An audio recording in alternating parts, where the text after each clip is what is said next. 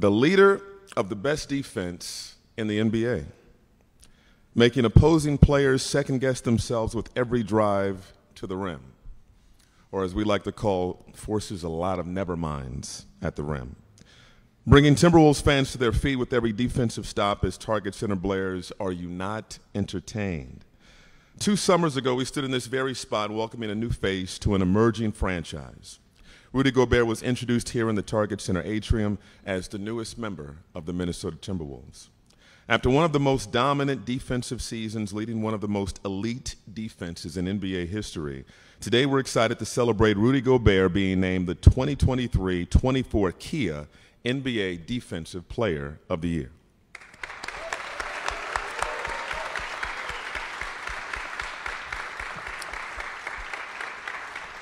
This is Rudy's fourth career NBA Defensive Player of the Year honor, tying the NBA record, becoming the third player in NBA history to win the award four times, joining Dikembe Mutombo and Ben Wallace. Gobert is the first player in Timberwolves history to win the Defensive Player of the Year award honor.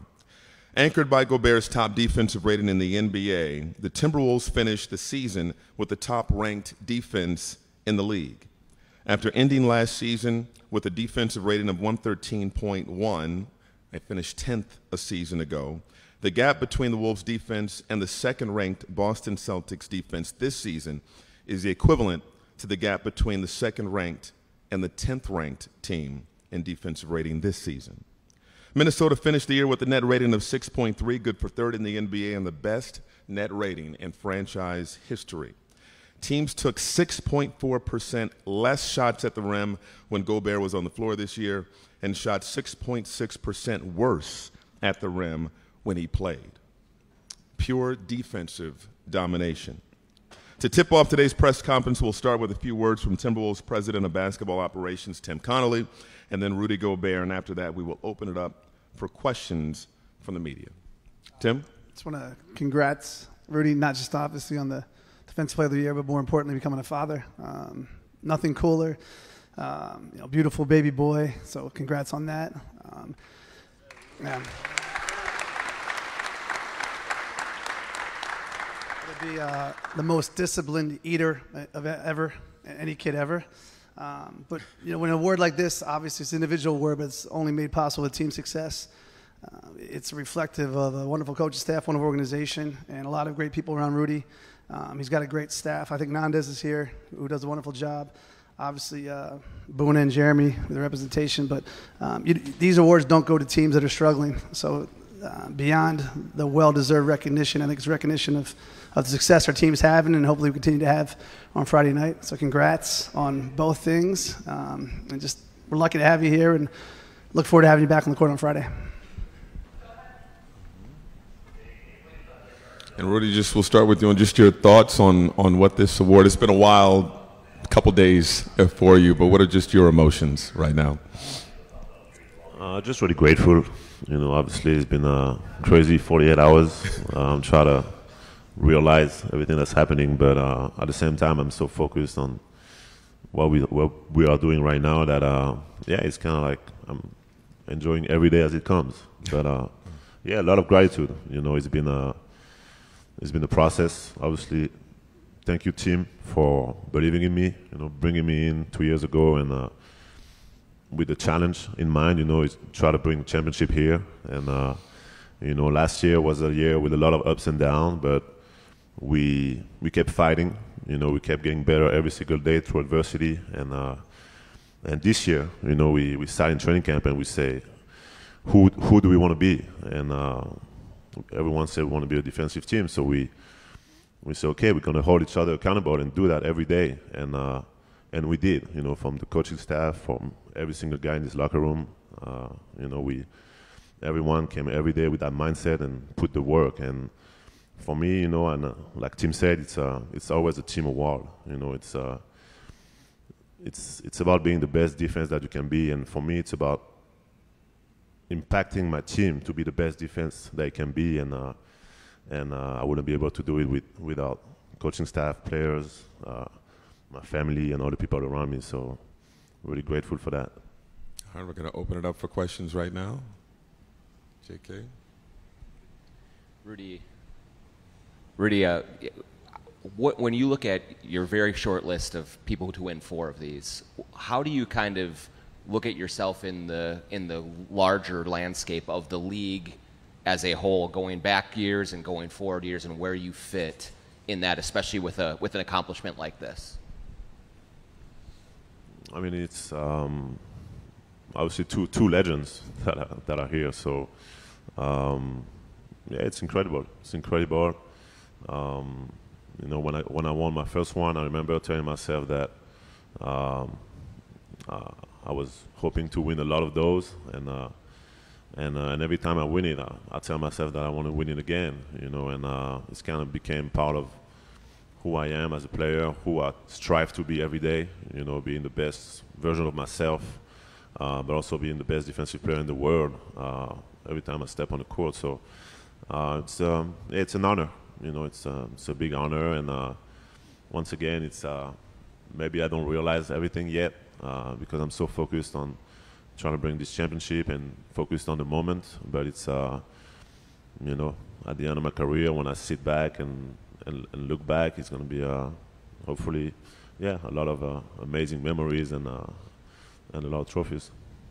This is also where you held your introductory press conference. Um, and when you think about how far things have come from that day to this, what stands out the most to you right now as you kind of reflect on that?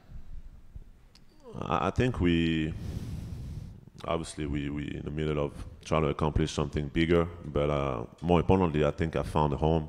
You know, I found a um, a team, a coaching staff, an organization, a city that embraced me, and uh, and uh, and a group, you know, that that embraced me, and uh, you know, and now I'm, yeah, I feel like I, I have a, it's like a family, you know, we all there for each other, we all really care about one another, you know, we all want to see each other shine, uh, we all, you know, want to see each other um, prosper, you know, whether it's family, whether it's everything.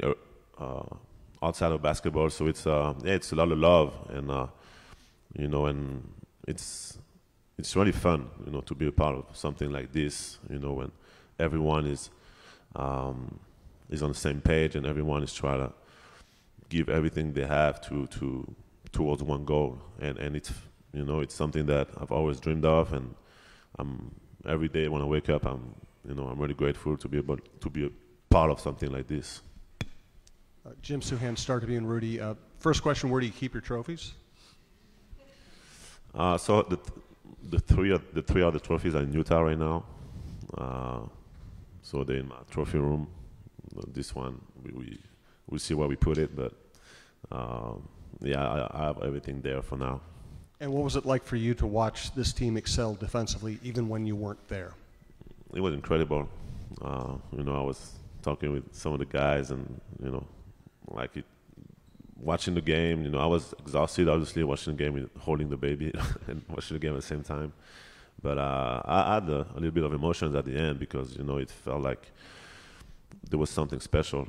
And the, I mean, the energy that they put in, the focus that they had, the, the, the determination, the, I don't know, there was something special with the way they they came out, and not just the way they came out, the way they played for 48 minutes that night, you know, and it's, yeah, it, it was an incredible day.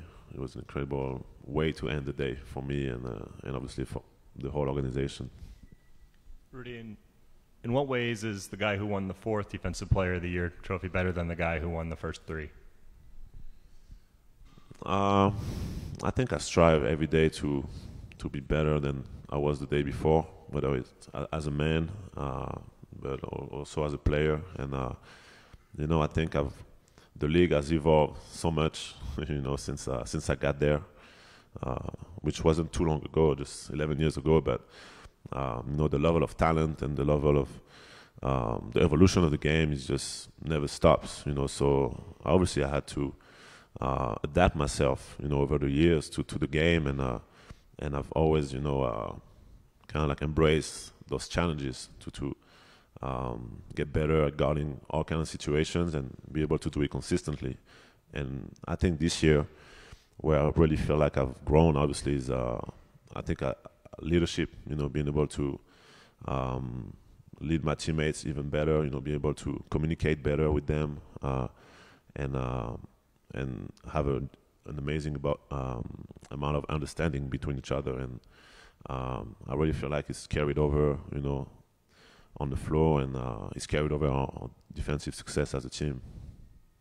Obviously, those adaptations. Obviously, the voting was done before the playoffs, but do you feel like those adaptations have kind of taken center stage in the playoffs now, or everybody outside of even even Minnesota kind of has really seen the strides that you've taken? I'm I'm I'm not sure about that, you know, um, and I don't really care about that to be honest. Right now, like all I care about is my, my teammates and try to accomplish our goal and, and try to do something that's never been done before here. Um, so it's um, eventually, you know, eventually people will, uh, when it's all and done, people will be able to to realize or appreciate things. But right now, I'm just trying to embrace the moment and be the best version of myself every day. And uh, you know, I'm I'm having a lot of fun, you know, with these guys and try to accomplish our goal. Rudy, was there a moment maybe during this season, early in the season, whatever it may be, a game or a series of games where you said to yourself, "Hey, this defense is coming together the the way that you wanted it to, and that it could be really be something special"? For sure. I mean, I, I had some of these moments last year, even though we obviously last year we didn't have the success that we had this year. But I really realized last year that we could be something special as a team defensively and something unique. Uh, but this year, I think probably uh, probably the Boston game, the first home game, when I really, uh, you know, playing some of the best players in the world and, and seeing how these guys were guarding, you know, uh, Mike, Ant, Jaden, everyone, KAT too, like ev- the way, like the mindset that we had uh, that day as a team. Um, I told myself, yeah, we can, we can do something special, and uh, now it's going to be about consistency. It's going to be about sustaining that mindset for uh, 82 game season and also carry it over on the play onto the playoffs. But um, yeah, I felt like we we had a chance to be the best uh, defense in the league and one of the best defense we've ever seen. Ahmad Hicks, Fox 9. Rudy, when you look at all the members from the organization up here, all your teammates and coaches in the first couple of rows, what have they meant to your growth and development as a basketball player and as a man? I mean, it meant everything. You know, uh, from day one, I felt that I felt some love uh, from everyone in this organization embracing me. You know, uh, and when things didn't go as smooth as we wanted them to go last year, um, they never doubted me. You know, they kept, you know, uh, yeah, showing me love every day.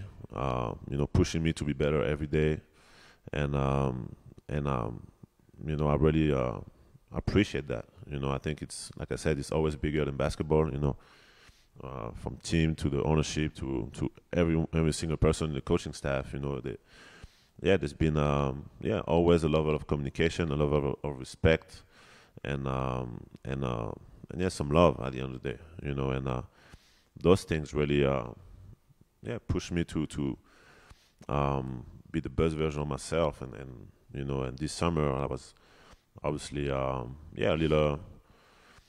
I was I was excited in a way. I was excited of how we overcame adversity as a team. You know, last year making it to the playoffs uh, through the injuries, through the ups and downs, and um, and also uh, competing in the playoffs. You know, despite all the injuries, like I, re- I was really proud of our group, and um, and this year, this summer, I, I, had only one thing in mind, and I think every every guy can can can agree to that. We wanted to come back better individually, collectively, and uh, and and we did, you know, and with one goal in mind, you know, just to win a championship, which is uh, something that we we are striving to to accomplish. Well, the Wolves are six and zero in the postseason. New father, four-time Defensive Player of the Year, future Hall of Famer. Let's hear it one more time for Rudy Gobert.